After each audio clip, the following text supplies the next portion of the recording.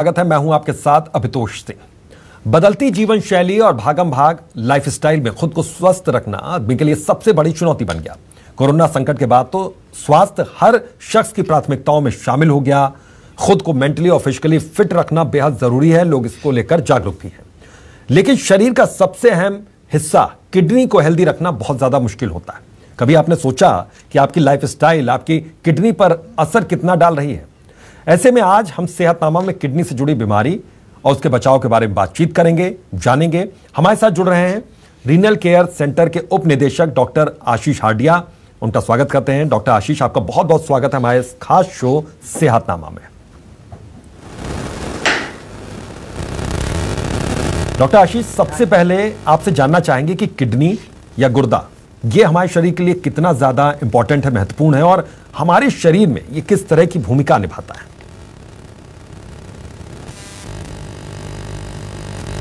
देखिए sir kidney के बारे में अगर हम बात करें तो किडनी एक आ, प्रकार से बहुत सारे काम हमारे शरीर के अंदर करता है जिसमें पहले तो पूर्णतः होता है इसका वेस्ट प्रोडक्ट को निकालना जिसको नाइट्रोजनस पेस्ट भी कहा जाता है। दूसरा ये होता है कि ये हमारे ब्लड को प्यूरिफाई करता है वेस्ट प्रोडक्ट बनाता है। इलेक्ट्रोलाइट को बैलेंस करता है हमारी बॉडी के अंदर फ्लूइड को बैलेंस करता है। साथ ही साथ में ये हार्मोन्स की भी ग्रोथ करता है हार्मोन्स को भी बनाता है। जो अलग अलग कार्यों में महत्वपूर्ण रोल प्ले करते हैं ऑल ओवर बॉडी में। और सबसे इम्पोर्टेंट वेस्ट प्रोडक्ट को बनाने और निकालने के बाद सबसे इम्पोर्टेंट काम करता है ये ब्लड प्रेशर को रेगुलेट करना। तो ये कुछ एक जो काम थे वो किडनी हमारी हम बॉडी में करती है। जी। डॉक्टर आशीष मैं ये समझना चाहता हूँ कि किडनी में मुख्य तौर पर कितनी तरह की बीमारियाँ होती हैं और इसके शुरुआती लक्षणों को अगर जानना चाहें तो कैसे एक आम इंसान को पता चलेगा कि शुरुआती लक्षण उनके आ रहे हैं शरीर में?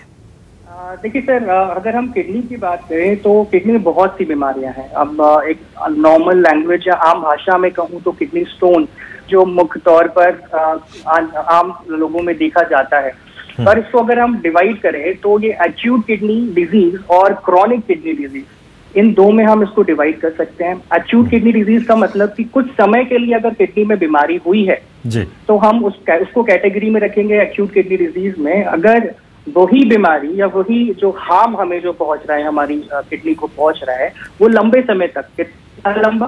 तीन महीने महीने या तीन महीने से ज़्यादा तो हम उसको क्रॉनिक किडनी डिज़ीज़ में रखते हैं। और क्रॉनिक किडनी डिज़ीज़ जो होता है वही एक घातक बीमारी होती है। जो हमारी किडनी को एंड एंड स्टेज प्रोडक्ट पे लाकर खड़ी कर दी थी एक प्रकार से। और इसको अगर हम प्रोलिफरेट इसको और हम गहराई से समझें तो किडनी क्रॉनिक किडनी डिज़ीज़ जो होती है वो पाँच स्टेजेस में हम इसको नाप सकते हैं या नापा जाता है। इससे ये पता चलता है कि आपकी किडनी कितनी हेल्दी है। नॉर्मली तो हम पाँच स्टेजेस मतलब stage one stage two stage three stage four और आखिरी में किडनी फेलियर या स्टेज फाइव भी इसको कहा जाता है साहब। तो पहली की तीन स्टेजेस होते हैं वो हम आ, ऐसा देखा गया है कि इसको हम आसानी से डील कर सकते हैं। मतलब आ, बहुत तरीके से। लेकिन अगर हम फोर्थ स्टेज में पहुँच गए तो हमें डायलिसिस या किडनी प्रत्यारोपण की ज़रूरत पड़ती है। हम्म। जी सर। बिल्कुल। तो आ, जैसे इसकी अगर कोई बीमारी के लक्षण दिख रहे हैं जैसा कि आप बता रहे हैं तो इसकी अगर पुष्टि हो रही है या फिर पुष्टि नहीं हो रही तो किस तरह की जाँच हम सबसे पहले करवाएँ जाकर डॉक्टर के पास कैसे उनकी सलाह लें क्या महत्वपूर्ण हो जाता है फिर? बिल्कुल सर। ये बहुत ही अच्छा क्वेश्चन आपने करा है इस किडनी शो पे। सर बहुत ही अच्छा क्वेश्चन आपने करा है इस, इस किडनी शो पे। सर देखिए पहले तो हमें 80 परसेंट अगर हम मैं बात करूँ पॉपुलेशन की तो 80 परसेंट पेशेंट्स इन्हें तो पता ही नहीं होता है कि हमें कोई किडनी की प्रॉब्लम है। क्योंकि जिस प्रकार से कार्सिनोमा की बात भी करें हम कि हमें जब डायग्नोज होता है कार्सिनोमा तो हम बहुत लेट हो चुके होते हैं। हम्म। ऐसा नॉर्मल पेशेंट्स में या मैक्सिमम पेशेंट्स में देखा जाता है। तो उसी प्रकार किडनी में भी शुरुआती लक्षण ज़्यादा दिखते नहीं है। अगर मैं बात करूँ कि अगर हमारी किडनी लेस देन 60 परसेंट पर भी काम कर रही है फिर भी हमारे जो किडनी फ़ंक्शन टेस्ट एक, एक टेस्ट होता है किडनी फ़ंक्शन टेस्ट तब तक भी नॉर्मल होता है। तो इसके लिए हमें अवेयरनेस ज़्यादा जाननी होनी चाहिए। तो शुरुआती लक्षण ये हो सकते हैं कि अगर आप किसी भी वजह से थकावट फील कर रहे हैं या आप लंबे समय से थके हुए हैं तो उसका एक रिलेट रिलेशन होता है कि आप किडनी फ़ंक्शन कराएँ अपना यूरिन का टेस्ट कराएँ। दूसरा दूसरा फ़ंक्शन है कि अगर आपकी यूरिन के अंदर झाग बन रहा है या फेस बन रहा है तो हम उसे कहते हैं कि आपको किडनी का टेस्ट कराना चाहिए। अगर आप के यूरिन में क्रिस्टल्स आ रहे हैं खून आ रहा है तो आपको यूरिन टेस्ट कराना चाहिए। अगर इसके अलावा भी अगर यूरिन बहुत ज़्यादा आ रहा है या रेपिटेडली आ रहा है तो आपको यूरिन टेस्ट कराना चाहिए या कम आ रहा है इसको हम ओलिगो यूरिया कहते हैं सर। तो भी हमें टेस्ट कराने चाहिए। इसके अलावा जो रिस्क फैक्टर है किडनी डिज़ीज़ का सबसे ज़्यादा रिस्क फैक्टर होता है डायबिटीज़ और हाइपरटेंशन ये दो पेशेंट ऐसे पेशेंट हैं जो बहुत ही रिस्क में होते हैं कि हाँ आपको आगे चल के किडनी डिज़ीज़ हो सकती है। तो बहुत से लोग हैं जो आ, जिनको हाइपरटेंशन के बीमा पेशेंट हैं सालों से चलते हुए आ रहे हैं। बहुत से ऐसे पेशेंट हैं जो डायबिटीज़ से जूझ रहे हैं। वो भी लेकिन वो टेस्ट नहीं कराते हैं और उनकी डिज़ीज़ या उनकी जो किडनी डैमेजिंग है वो प्रोसेस में बढ़ती जा रही है। इसका एक सीधा सा एग्जांपल अगर मैं लेता हूँ जैसे हमने अभी पहले डिस्कस किया था कि किडनी ही एक ऐसा अ, अ, एक एसेंशियल ऑर्गन है जो ब्लड प्रेशर को रेगुलेट करता है मतलब मैनेज करने में मदद करता है। अगर आपका ब्लड प्रेशर या आपकी धमनी में जो ब्लड प्रेशर है वो 130 बाय अ, 80 या 70 से ज़्यादा बड़ा हुआ है नॉर्मल पेशेंट के अंदर नॉर्मल एडल्ट की मैं बात करूँ तो वो एक हाइपरटेंशन में आते हैं। तो जितना प्रेशर आपकी वेन्स में होगा उसी वही वेन्स आपकी किडनी क्योंकि किडनी में का काम जो होता है वो वेस्ट प्रोडक्ट को छानने का एक छन्नी है। ना सूक्ष्म छन्नी जिसको कहा जाता है। अगर हम उस उसमें अगर प्रेशर से किसी का फ्लो बढ़ाएँगे तो ऑटोमेटिकली आपकी किडनी डैमेज होने लग जाएगी। तो दो रिस्क फैक्टर मैंने जैसा बताया। हाँ। इनको तो हमेशा हर महीने हर दूसरे तीसरे महीने में किडनी फ़ंक्शन टेस्ट कराने चाहिए। किडनी फ़ंक्शन टेस्ट की मैं बात करूँ तो यूरिन रूटीन एग्जामिनेशन होती है जनरल रूटीन एग्जामिनेशन होती है वो। इसमें क्रिएटिनिन और यूरिया वगैरह प्रोटीन वगैरह ब्लड वगैरह इसे नापा जा सकता है। जी सर। बिल्कुल। मैं यही समझना चाह रहा हूँ क्योंकि आपने कहा कि करीब 80 परसेंट लोग जो होते हैं 80 फ़ीसद लोग जो होते हैं जिनको जानकारी नहीं होती और जब एकदम आखिरी स्टेज पे पहुँचते हैं तब इस बीमारी के बारे में उन्हें पता चलता है। तो किडनी की बीमारी को लेकर हमें कितना ज़्यादा गंभीर होने की ज़रूरत है? और अगर सामान्य तौर पर भारत की बात करें तो किडनी संबंधित बीमारियों का ग्राफ की स्थिति किस तरह से यहाँ पर नज़र आती है? क्योंकि बहुत से लोगों को अगर नहीं पता है तो उनको जागरूक हो जाना चाहिए इस दिशा में उनको किस तरीके से इसको महत्व देना चाहिए कि इससे भी रिलेटेड कुछ समस्या हो सकती है। बिल्कुल देखिए सर डब्ल्यू एच ओ ने जो पाँच घातक बीमारियाँ हैं जो उन्होंने पाँच घातक बीमारियाँ बनाई हैं जिनको यूजुअली पैलेटिव केयर में रखते हैं उसमें से एक किडनी भी है जिसको हम सी कहा जाता है। और नेफ्रोलॉजिकल डिपार्टमेंट ऑफ़ इंडिया जिन्होंने एक शोध करा था, जो शुरुआत से 10-15 साल 20 सालों से इसमें शोध हमेशा करती हुई आ रही है। तो 2000 सॉरी 1990 से ये जो हमारा आंकड़ा था, जिसमें डेथ मोर्टालिटी जिसको कहते हैं किडनी से होने वाली मृत्यु का दर पचास हज़ार था, जो 2017 में आते आते करीब दो लाख के आसपास पहुँच गया है। तो जो मृत्यु दर दर हर 10 साल में बढ़ते जा रहा है, इसका इसको एक बहुत इंपॉर्टेंट चीज़ हमें बताता है कि किडनी हमारे शरीर में कितने ज़रूरी एक मापदंड बनाती है कि कितना ज़रूरी है और उसकी हेल्थ रखना कितना ज़रूरी है। तो मुझे लगता है कि आजकल जिस जिस हिसाब से हम लोग हमारी डाइटरी डाइट पे ध्यान देते हैं पानी पीने में ध्यान देते हैं तो वो चीज़ हम नहीं प्रॉपर कर पा रहे हैं और अल्टीमेटली वो हमारी किडनी को डैमेज कर रही है। तो ये अगर आंकड़े बढ़ रहे हैं तो ये चिंता का विषय है सर। बिल्कुल। तो लगातार ये आंकड़े बढ़ रहे हैं, किडनी मरीजों की संख्या बढ़ रही है। सबसे महत्वपूर्ण, सबसे प्रमुख कारण आपको क्या लग रहा है? क्योंकि कोविड के बाद से फिर इस तरह की कुछ समस्याएँ भी लोगों को हार्ट से, किडनी से जुड़ी हुई देखी गई। तो इस वक्त सबसे महत्वपूर्ण कारण आपको क्या नज़र आते हैं कि लोग खुद से पहले से जागरूक हो जाए इसको लेकर? सर, देखिए, महत्वपूर्ण कारण, जी। महत्वपूर्ण कारण या मैं मैं ये कहूँ कि ये बीमारी हो क्यों रही है? जी जी। तो देखिए इसके बहुत से कारण हैं। पहली चीज़ पहला हमारा पानी ना पीना। दूसरा होता है डिहाइड्रेशन जिसको कहते हैं। हम अप्रोप्रिएटली पानी नहीं पीते हैं तो पानी नहीं बनेगा तो यूरिन का बन, नहीं यूरिन नहीं बनेगा और अल्टीमेटली इन्फेक्शन बनाएगा। आ, दूसरा इसका कारण जो बहुत महत्वपूर्ण मेरी तरफ़ से ल- मुझे ऐसा लगता है कि हम ओवर ड्रगिंग कर रहे हैं सर ओवर ड्रगिंग का मेरा कहने का मतलब है कि ऐसी ड्रग जो बिना प्रिस्क्रिप्शन से हम ले रहे हैं किसी भी अगर हमें आ, हल्का सा बुखार हुआ या हमें कुछ पेन हुआ तो हम सीधे मेडिकल पे जाते हैं केमिस्ट से बोलते हैं कि साहब ये हो रहा है वो आपको मेडिसिन उठा के देता है। क्योंकि किडनी का एक इंपॉर्टेंट फ़ंक्शन होता है ड्रग का एक्सक्रीशन करना। अगर जो भी आप ड्रग ले रहे हैं in the form of any drug means allopathy homeopathy Ayurveda कोई भी ड्रग अगर आप कोई भी दवाई ऐसी ले रहे हैं तो उसको आपके शरीर से बाहर निकालने का काम कौन करेगा? किडनी करेगी सर। और अगर किडनी में आप बार बार दबाव बनाएँगे केमिकल्स डालेंगे in the form of pain killers NSAID जिसको कहा जाता है in the form of PPI जिसको हम एंटा एसिड कहते हैं हम ये जानते हैं कि हमने बहुत सारा खा पी लिया हमारा आ, मतलब डाइजेस्टिव प्रॉब्लम आ रही है कॉन्स्टिपेशन आ रही है। तो हम ये नहीं करते हैं कि थोड़ा सा रिलैक्स करें आज खिचड़ी खा लें और आज हम उपवास कर लें इंटरमीडिएट फास्टिंग कर लें। उसके बजाय हम सीधे मेडिकल पे जाते हैं कैंटासेट खरीदते हैं in the form of Aciloc खरीदते हैं पेंटापेराजोल खरीदते हैं हम खा लेते हैं। और फिर दो घंटे के बाद फिर हम खाना खा लेते हैं। तो ओवर जो ड्रगिंग हो रही है ओवर जो डोजिंग हो रही है वो अल्टीमेटली बना रही है हमारी किडनी को बीमार। और साथ ही साथ में हम इसका एक लाइव एग्जांपल अगर मैं लूँ तो पोस्ट कोविड कॉम्प्लिकेशन जो हमारे देश में आए हैं जस्ट बिकॉज़ कि उस उस दौरान उस काल में आ, हमें हमने इतनी ड्रग्स ले लिए थे इतनी मात्रा में स्टेरॉइड्स ले लिए थे इतनी मात्रा में हमने एलोपैथी की दवाइयाँ का मिसयूज कर लिया था उस समय कि जब हम ठीक तो हो गए उससे पर लॉन्ग टर्म में लॉन्ग टर्म में हमारी किडनी जो है वो फेलियर होते चले गई। आ, उस इस बीच में हमने ये भी देखा है कि जो किडनी पेशेंट्स थे हार्ट पेशेंट्स और सीओपीडी के पेशेंट्स तो ठीक है उसके अलावा भी जो किडनी के पेशेंट थे सबसे ज़्यादा मोर्टालिटी उनमें देखी गई। है क्योंकि ना तो हम ड्रग्स उनको ज़्यादा दे पाते थे क्योंकि उनकी किडनी इतनी इफ़ेक्टिव नहीं थी कि वो उसको डाइजेस्ट कर ले।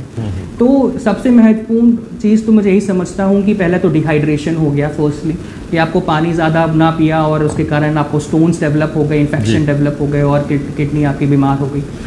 दूसरा हो गया हमारी हैबिट्स जो हम खा रहे हैं जो हम पी रहे हैं एक वो हो गया। तीसरा हो गया हमारे supplements in the form of drugs herbal supplements भी क्यों ना ले लीजिए आज हम आजकल यही करते हैं कि कुछ भी किसी भी चीज़ की डिफिशियंसी डॉक्टर ने बताई है हो चाहे ना हो हाँ। हम सीधे ड्रग ले रहे हैं। और मार्केटिंग करने वाले तो मार्केट करके चले जाते हैं कि तीस के बाद आपको सबसे ज़्यादा ज़रूरत है और आप भरपूर नहीं ले पा रहे हैं और हम वो चीज़ ले रहे हैं। चौथा होता है हम प्रोटीन इनटेक हम इतना नहीं लेते हैं लेकिन फिर भी हम in the form of protein powder ले रहे हैं। तो वो कहीं ना कहीं जा करके हमारी किडनी को ख़राब कर रही है। ये हमारी आदत है सर जो जीन्स में है जो इन्वायरमेंट में है वो तो ठीक है इन्फेक्शन ठीक है ये मैन मेड नहीं है लेकिन हम जानते हुए ये चीज़ कर रहे हैं तो गलती इसमें हमारी है कि हम खुद अपने हाथ से अपनी किडनी को ख़राब कर रहे हैं। बिल्कुल। किडनी बहुत ज़रूरी है महत्वपूर्ण अंग है। तो doctor Ashish Devi Ahilya hospital and research centre की ओर से संचालित ये आपका रीनल केयर सेंटर बिना डायलिसिस और बिना किडनी ट्रांसप्लांट की किडनी का इलाज करने के लिए मशहूर है लोकप्रिय है लोग जानते हैं। तो मैं चाहूँगा कि आप अपने रीनल केयर सेंटर की पूरी जानकारी हमारे दर्शकों के साथ साझा करें ताकि अगर उनको किडनी से जुड़ी कोई समस्या हो वो आना चाहें आपके यहाँ तो कैसे फिर आए?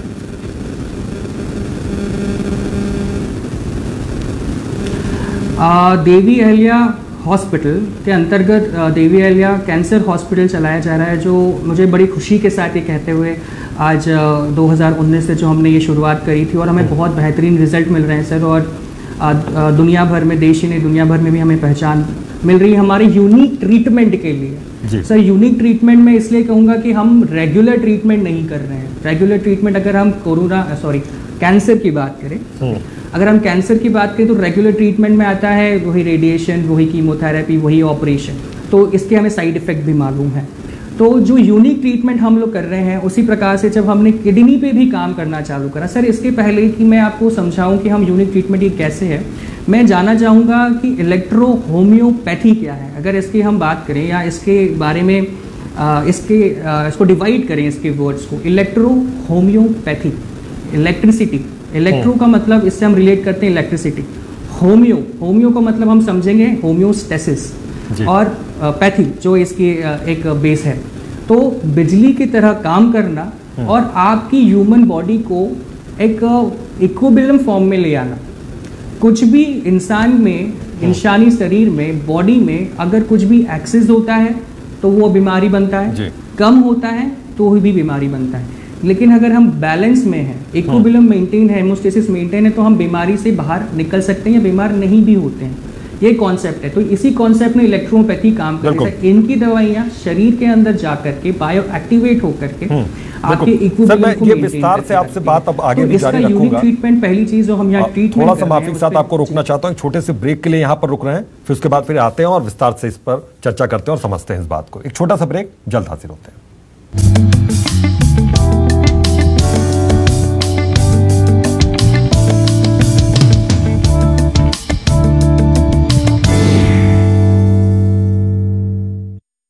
बच्चे जन्म लेते ही अपनी मातृभाषा सीखने लगते हैं और उनकी प्रतिभा का सहज प्रकटीकरण अपनी मातृभाषा में ही हो सकता है। और इसलिए हमारे प्रिय प्रधानमंत्री श्रीमान नरेंद्र मोदी जी ने मातृभाषा में ही प्राथमिक और उच्च शिक्षा देने का संकल्प प्रकट किया। उनके संकल्प की सिद्धि के लिए और वो बच्चे जो अंग्रेज़ी ना समझने के कारण प्रतिभावान होते हुए भी पीछे रह जाते हैं। उनकी प्रतिभा कुंठित हो जाती है। सहज रूप से उनका स्वाभाविक विकास नहीं होता। उन बच्चों को मेडिकल की भी शिक्षा हिंदी में देने के लिए मध्य प्रदेश सरकार ने प्रयास प्रारंभ किए। और आज मुझे ये बताते हुए प्रसन्नता है कि हमने मेडिकल की पढ़ाई भी, चिकित्सा शिक्षा की पढ़ाई भी हिंदी में देने के लिए पाठ्य पुस्तकें तैयार कर ली है। अब अंग्रेज़ी की बाध्यता और अनिवार्यता नहीं रही। ये मध्य प्रदेश के लिए गौरव का विषय है कि हिंदी में मेडिकल और इंजीनियरिंग की पढ़ाई करने वाला पहला राज्य बना है और इस अवसर पर हिंदी की पुस्तकों का लोकार्पण करने और पढ़ाई प्रारंभ करने हमारे देश के यशस्वी गृह मंत्री श्रीमान अमित शाह जी 16 अक्टूबर को भोपाल पधार रहे हैं। 12 बजे ये कार्यक्रम संपन्न होगा दोपहर में और मध्य प्रदेश एक नए युग में प्रारंभ करेगा। किसी बच्चे की प्रतिभा कुंठित नहीं होगी। धन्यवाद।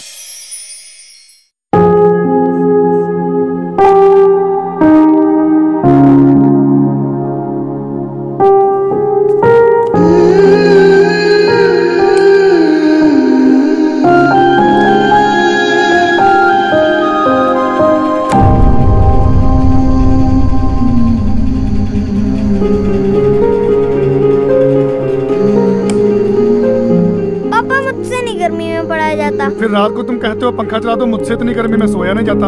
ऐसे तो पंखा 24 घंटे चलता रहेगा। महँगाई ने पहले जान ली पड़ी है। कोई नहीं चला लेने दो पंखा।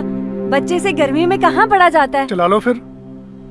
जब हज़ारों रुपए बिल आया ना फिर मुझे ना कहना कि आरती से पैसे लाओ। बिल तो आ गया। वो भी ज़ीरो। ज़ीरो? ये कैसे? गरीबों का ख्याल रखने वाली सरकार आ गई है। पंजाब सरकार अपने सारे वायदे पूरे कर रही है। सिर्फ़ अपना बिल ही ज़ीरो नहीं आया। अगर पंजाब के सभी लोग संयम से बिजली का उपयोग करेंगे तो सारे पंजाब का ही बिल ज़ीरो आएगा। तो वही पैसे बचा कर हम अपने बच्चों का भविष्य सुनहरी कर सकते हैं। चला लो अब पंखा। भगवंत मान के नेतृत्व वाली पंजाब सरकार में लगभग 50 लाख परिवारों का बिजली का बिल ज़ीरो आया है। सादा काम बोलता है। आगे भी हमारा काम ही बोलेगा। मध्य प्रदेश बनने जा रहा है। देश का पहला राज्य जो मेडिकल की पढ़ाई हिंदी माध्यम से कराएगा। ये संभव हो रहा है। माननीय प्रधानमंत्री श्री नरेंद्र मोदी जी के कुशल मार्गदर्शन से। हमने जो नई एजुकेशन पॉलिसी लाए हैं उसमें निर्णय किया है कि अब अपनी मातृभाषा में हिंदी भाषा में गाँव के स्कूल में पढ़ा हुआ बच्चा भी अब वो डॉक्टर भी बन सकता है, इंजीनियर बन सकता है। प्रधानमंत्री जी के इस संवेदनशील निर्णय से अब देश में विद्यार्थियों के लिए खुल रहे हैं अपनी मातृभाषा से भविष्य निर्माण के द्वार। प्रधानमंत्री जी की संकल्पना को साकार करते हुए मध्य प्रदेश के मुख्यमंत्री श्री शिवराज सिंह चौहान के नेतृत्व में ये अकल्पनीय शुरुआत हो रही है। मुझे कहते हुए गर्व है कि मध्य प्रदेश के भोपाल के गांधी मेडिकल कॉलेज में इसी सत्र से मेडिकल की पढ़ाई हिंदी भाषा में हम प्रारंभ कर रहे हैं। इस ऐतिहासिक कार्य का शुभारंभ एवं एमबीबीएस प्रथम वर्ष की पुस्तकों का विमोचन 16 अक्टूबर को केंद्रीय गृह मंत्री माननीय श्री अमित शाह जी के कर कमलों ऐसी होने जा रहा है। आइए इन अद्भुत पलों के साक्षी बने।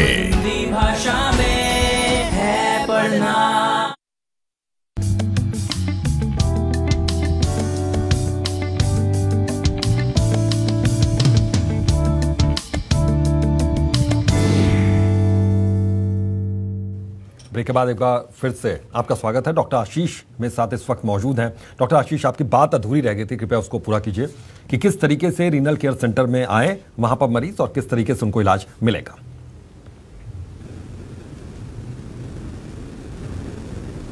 जी सर देखिए हम जो अपना एक्सपेंस एक्सपीरियंस और ट्रीटमेंट के प्रति जो हम कर रहे हैं वो इलेक्ट्रो होम्योपैथी के साथ में हम यहाँ ट्रीटमेंट करते हैं सर। जैसे मैंने अभी आपको बताया कि इसका मेन डेफिनेशन क्या है। पहली चीज़ कि माँ प्रकृति ने हर इंसान को रीजनरेशन की पावर दी है। हम हमारा सेल या हमारी कोई भी बॉडी ऑर्गन ऑर्गन सिस्टम वो रीजनरेट हो सकता है। ये तो हमें एक शुरुआत से हमें चीज़ पता है। अब देखिए जब कोई भी किडनी पेशेंट हमारे पास आएगा या आता है इन कोई सी भी स्टेजेस में जैसे हमने पाँच स्टेज की बात करी थी वार्ता करी थी पहला दूसरा तीसरा चौथा पांचवा। अगर पहले शुरुआत ही स्टेज में पेशेंट अगर हमारे पास आता है और उसकी डिज़ीज़ प्रोग्रेसिव है प्रोग्रेसिव मतलब कि अगर एक बार आपको किडनी डैमेज होना चालू हो गया तो हम ये मानते हैं कि वो आगे चल कर के जाना ही है प्रोग्रेस ही करना है। क्योंकि वहाँ पे रिवर्सिबल नहीं हो सकता। अब रिवर्सिबल क्यों नहीं हो सकता ये हम डॉक्टर से नहीं पूछ पाते हैं साहब। लेकिन वो इस वजह से ये बोलते हैं कि आपकी कोई भी चीज़ रीजनरेट नहीं हो सकती पर मैं हम इलेक्ट्रोपैथी के माध्यम से ये इसको बिल्कुल तरह से नकारता हूँ मैं। इलेक्ट्रो होम्योपैथी में ऐसे बायो एक्टिवेटर्स होते हैं हाँ। जो रीजनरेशन को चालू कर देते हैं। चाहे वो बॉडी में किसी भी पार्ट में क्यों ना हो स्टेम सेल स्टेम सेल एक हो एक सेल होता है जिसको मदर्स ऑफ़ ऑल सेल कहा जाता है हाँ, हाँ। वो आपके शरीर के अंदर मौजूद होता है और वो सेल्स आपके जहाँ पे भी नुकसान पहुँचा है उसको रीजनरेट कर सकता है. आ, इसके इसको एक एग्जांपल के तौर में मैं कहना चाहूँ कि अगर हम किसी पेशेंट को हमने लिया यहाँ पे जो थर्ड स्टेज के अंदर आया हमारे पास जिसको डायलिसिस ऑन है तो पहली चीज़ हम तो ये करेंगे कि सबसे पहले उस डायलिसिस के जो फ्रीक्वेंसी है, हम उसको कम करेंगे। इन द प्रोसेस इस प्रोसेस के अंदर मेडिसिन का उपयोग किया जाएगा। ये मेडिसिन जाकर के बायो एक्टिवेट होंगे, जाकर के किडनी पे वो नए ग्रोथ को प्रोलिफिकेट करेंगे कि वापस से किडनी जो श्रिंक हो गई है किडनी सीकेडी में किडनी श्रिंक हो जाती है सब, उसको वापस प्रोलिफरेट करें। न्यू ग्रोथ न्यू नेफ्रॉन्स उसमें डेवलप हो। एक तो ये ये डेवलपमेंट की हो गई दूसरी कि वेस्ट प्रोडक्ट को हम बाहर कैसे निकालें? सर देवी हरिया ने एक टेक्निक अपनाई है जिसको हम हाइड्रोबाथ थेरेपी कहा जाता है जिसके अंदर हम पेशेंट को मेडिसिन लगा करके कुछ पीरियड ऑफ़ टाइम हम उस टब के अंदर एक हाइड्रोथेरेपी टब है उसके अंदर बिठाते हैं कुछ टेम्परेचर सेट करते हैं और with the period of two hours हम उसको अंदर बिठाते हैं और जब हमने ये चीज़ देखी ये प्रोसेस हमने करा मेडिसिन के साथ में तो हमने ये पाया पेशेंट को जब निकाल लिया जाए उसमें से बैठने के बाद तो उसका वेट फ्रिक्वेंटली डिक्रीज हुआ है। जिस प्रकार से हीमोडायलिसिस हम करते हैं और उसमें से पानी जो है वो साफ़ होता है वेस्ट प्रोडक्ट जो साफ़ होता है उसी प्रकार उसका वेट लॉस हो जाता है हीमोडायलिसिस के अंदर। थोड़ा दो चार किलो कम होता है। वही पेशेंट का प्रूफमेंट के साथ हमारे पास होता है कि जब उसको बाहर निकालें तो उसका वेट कम हो जाएगा। वही दो, एक आध दो किलो, जो शुरुआत में हम जब फ्रीक्वेंसी उसकी बढ़ाएँगे तो ये लंबे समय तक जाएगा। तो पहली चीज़ तो हमारी बॉडी खुद ब खुद एक्सक्रीट कर रही है वेस्ट प्रोडक्ट्स को without any further ado without any further without outer source कोई लगाए बिना। और दूसरी कि हम दवाइयों की हेल्प से आपकी किडनी को फिर से रीजनरेट कर रहे हैं। तो ये बाकी किडनी केयर यूनिट्स या बाकी बाकी किडनी केयर सेंटर से इस प्रकार से अलग है कि यहाँ पे हम कोई भी ऑड फोर्स नहीं लगा रहे हैं। हाँ। कोई भी ऐसा फोर्स किडनी को नहीं दे रहे हैं जिस वजह से वो अपना काम आसान बना दें। हम आसान हमारी बॉडी को लग रहा है कि बहुत आसान है कि आप मशीन पे चले जाइए और सब कुछ ठीक हो जाएगा पर उसी तरह हम हमारी किडनी को और नुकसान पहुँचा रहे हैं। हम पूरी बॉडी को नुकसान पहुँचा रहे हैं। क्योंकि हीमोडायलिसिस के से अगर कुछ फ़ायदे हैं तो बहुत से नुकसान भी हैं।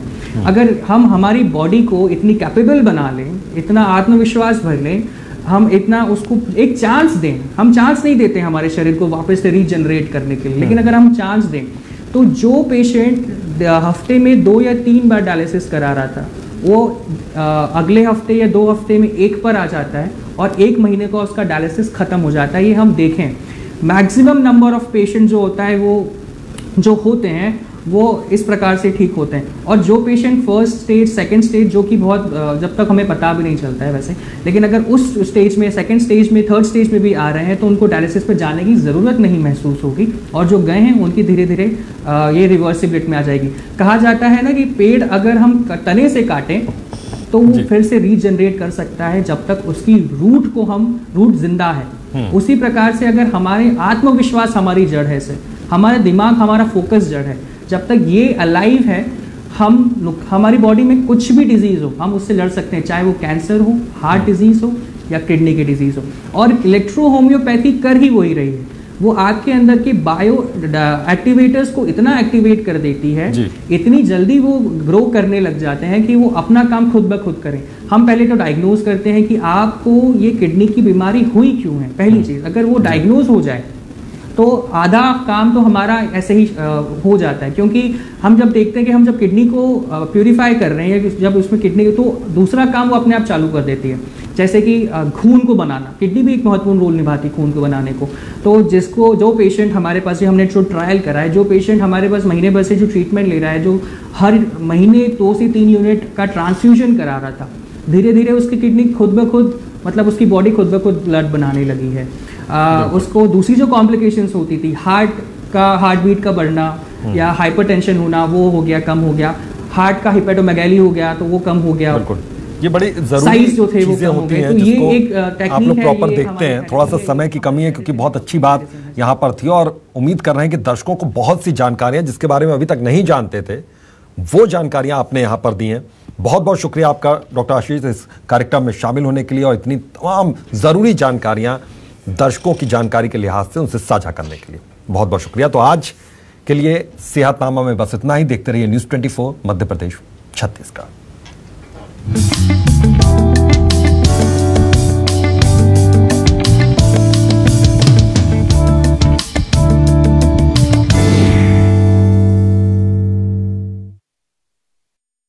बच्चे जन्म लेते ही अपनी मातृभाषा